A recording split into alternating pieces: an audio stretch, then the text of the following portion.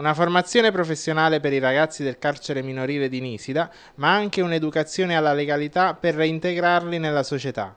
Il progetto Laboratorio Edile è il frutto di un protocollo d'intesa siglato tra l'ACEN, l'INAIL e l'Istituto Penale per Minorenni di Nisida. Il progetto interviene concretamente sul problema della devianza minorile e sulla rieducazione dei ragazzi di Nisida. Io credo che questa sia una nuova esperienza che aiuta l'Istituto Penale per Minorenni di Nisida di mettersi in rete con le risorse positive della città. È una grande opportunità per i nostri ragazzi per acquisire nuove esperienze, nuove competenze, ma soprattutto per creare appunto un tessuto che sia in grado di conoscere la, le competenze che i nostri ragazzi acquisiscono durante il periodo della detenzione per poi favorire un loro valido reinserimento sociale. È un progetto a cui noi diamo un'importanza enorme, nel senso che ovviamente ha un impatto sociale rilevante,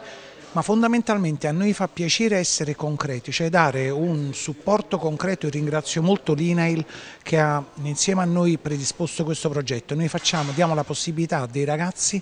che hanno avuto comunque diciamo, delle vicende poco felici di potersi reinserire facendo un corso di formazione concreto di 225 ore, di cui 200 ore pratiche, per dare una ulteriore possibilità a questi ragazzi che meritano assolutamente di avere una prospettiva futura. Noi vogliamo cercare di dare il nostro contributo al creare delle prospettive future per quanto riguarda questi ragazzi che si trovano in una condizione chiaramente di disagio svantaggiati certamente, ma accanto a questo anche metterli in condizione di conoscere quali sono le regole del mondo del lavoro, che poi rispettare quelle regole del mondo del lavoro significa anche rispettare le regole del mondo civile.